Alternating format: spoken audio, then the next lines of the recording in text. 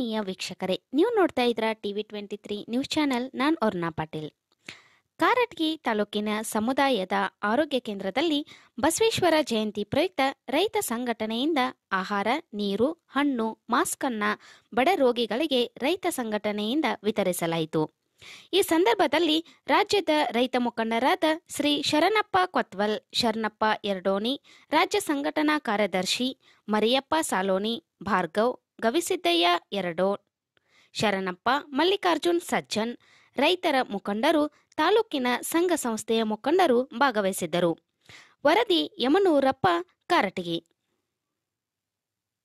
ಎಂಟುನೂರ ಎಂಬತ್ತೊಂಬತ್ತರ ಈ ವಿಶೇಷ ದಿನದಂದು ಈ ಒಂದು ನಮ್ಮ ಸಂಘಟನೆಯ ಎಲ್ಲ ಪದಾಧಿಕಾರಿಗಳು ಸಮೇತವಾಗಿ ಈ ಒಂದು ಕಾರ್ಯಕ್ರಮ ಹಮ್ಮಿಕೊಂಡಿದ್ದೀವಿ. ಎಲ್ಲರೂ ಆರೋಗ್ಯವಾಗಿರ್ರಿ ಡಿಸ್ಟೆನ್ಸ್ ಮೇಂಟೈನ್ ಮಾಡಿರಿ ಮಾಸ್ಕ್ ಹಾಕ್ಕೊಳ್ರಿ.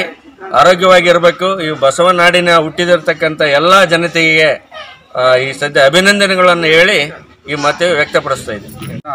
ವಿಶ್ವಗುರು ಬಸವಣ್ಣನವರ ಒಂದು ಜಯಂತಿಯ ಅಂಗವಾಗಿ ನಾವು ನಮ್ಮ ರೈತ ಸಂಘದಿಂದ, ನಮ್ಮ ರೈತದ ಪದಾಧಿಕಾರಿಗಳು ಮತ್ತು ರೈತ ಸಂಘದ ಮುಖಂಡರೊಂದಿಗೆ ಮತ್ತು ರೈತರೊಂದಿಗೆ ನಾವು ಈ ಕಾಟಗಿ ಕೊಪ್ಪಳ ಜಿಲ್ಲೆಯ ಕಾಟಿಗಿ ತಾಲೂಕಿನ ಒಂದು ಆರೋಗ್ಯ, ಸಮುದಾಯ ಆರೋಗ್ಯ ಕೇಂದ್ರಕ್ಕೆ ಭೇಟಿ ಕೊಟ್ಟು ಇವತ್ತು ವಿಶ್ವಗುರು ಬಸವಣ್ಣನವರ ಒಂದು ಜಯಂತಿಯ ಪ್ರಯುಕ್ತವಾಗಿ ಇಲ್ಲಿ ಅಡ್ಮಿಟ್ ಆಗಿರ್ತಕ್ಕಂಥ ಒಳರೋಗಿಗಳಿಗೆ ಹಣ್ಣು ಹಂಪಲು ಮತ್ತು ಆಹಾರ ಪದಾರ್ಥಗಳನ್ನು ಮತ್ತು ಮಾಸ್ಕ್ಗಳನ್ನು ಮತ್ತು ಕುಡಿಯುವ ನೀರಿನ ಬಾಟಲ್ಗಳನ್ನು ನಮ್ಮ ಸಂಘದ ವತಿಯಿಂದ ವಿಶ್ವಗುರು ಬಸವಣ್ಣನವರ ಒಂದು ಜಯಂತಿಯ ನೆನಪಿಗಾಗಿ ಇವತ್ತು ನಾವು ವಿತರಿಸಿದ್ದೇವೆ. ವಿಶ್ವಗುರು ಬಸವಣ್ಣನವರು ಒಬ್ಬ ಮಾರ್ಗದರ್ಶಿ, ಒಬ್ಬ ಸಮಾಜಮುಖಿ, ಸಮಾಜಮುಖಿಯಲ್ಲಿ ಕೆಲಸ ಮಾಡಿ ಇವತ್ತು ವಿಶ್ವಗುರು ಅಂತ ತಗೊಂಡಿರತಕ್ಕಂಥ ಬಸವಣ್ಣರು ಒಂದು ಇವತ್ತು ಜಯಂತಿ ಆಗಿರೋದ್ರಿಂದ ನಾವು ಅದಕ್ಕೋಸ್ಕರ ನಾವು ನಮ್ಮ ಸಂಘದಿಂದ ಬಡ ರೋಗಿಗಳಿಗೆ ಹಾಲು ಹಣ್ಣು ಇನ್ನು ಇವತ್ತು ವಿತರಿಸಿದ್ದೇವೆ. ಆದ್ದರಿಂದ ಈ ಕರೋನಾ ಒಂದು ಸಂದರ್ಭದಲ್ಲಿ ನೀವು ತಮಗೆ ಹೇಳಕ್ಕೆ ಇಷ್ಟಪಡ್ತೇನೆ.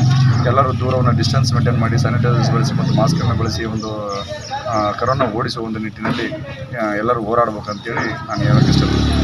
ಇವತ್ತು ವಿಶೇಷವಾಗಿ ಬಸವಣ್ಣ ಹುಟ್ಟಿದ ದಿನಾಚರಣೆ ಅಂದರೆ ಬಸವಣ್ಣನ ಹಬ್ಬ ಎಂದು ಆಚರಣೆ ಮಾಡಲಿಕ್ಕಾಗಿ ನಾವು ಇವತ್ತು ಎಲ್ಲ ರೈತ ಸಂಘದ ಪದಾಧಿಕಾರಿಗಳು ಹಲವಾರು ಸಂಘ ಸಂಸ್ಥೆಗಳು ಕಲ್ಕೊಂಡು ಇವತ್ತು ಆರೋಗ್ಯ ಕೇಂದ್ರದಲ್ಲಿ ಕೋವಿಡ್ ಇದ್ರ ಸಲುವಾಗಿ ಬಡ ರೋಗಿಗಳಿಗೆ ಹಣ್ಣು ಹಂಪಲ ವಿತರಿಸಕ ಇವತ್ತು ಬಸವಣ್ಣನ ಹುಟ್ಟಿದ ಜ ಬಸವ ಜಯಂತಿ ದಿವಸ ಇವತ್ತು ಅವ್ರಿಗೆ ಆರೋಗ್ಯ ಆಯಸ್ಸು ಕೊಡಲಿ ಎಂದು ನಾಲ್ಕು ಮಾತಾಡ್ತಿದ್ದೆ.